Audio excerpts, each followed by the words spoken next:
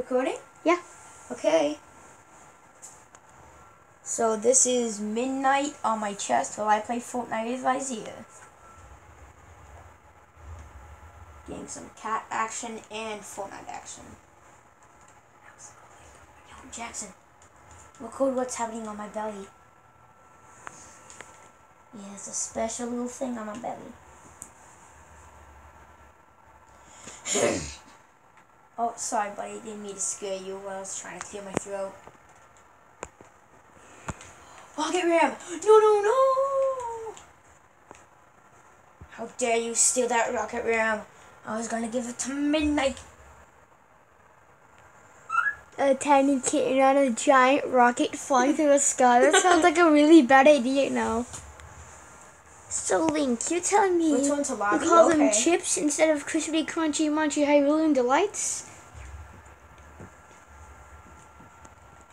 Okay, i Isaiah, um, do you want to see the video after we post it?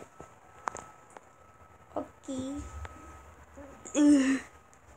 Todd the pet cat while making a YouTube video in the other hand.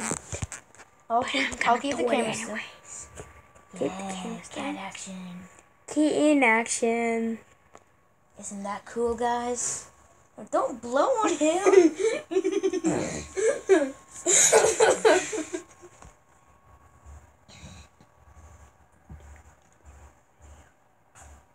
Oh he just sneezed. That's cute. Diddles.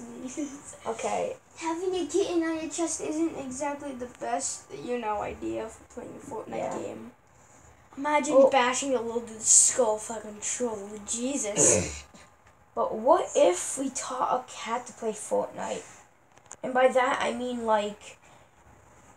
the- Show them what button. no, no, no, no. I mean like. It would kind of be like Dance Dance Revolution, how there are little like button things on the floor. and, like, The cat could press X and on the on the little like button pad on the floor and you jump and basically the cat well there would have to be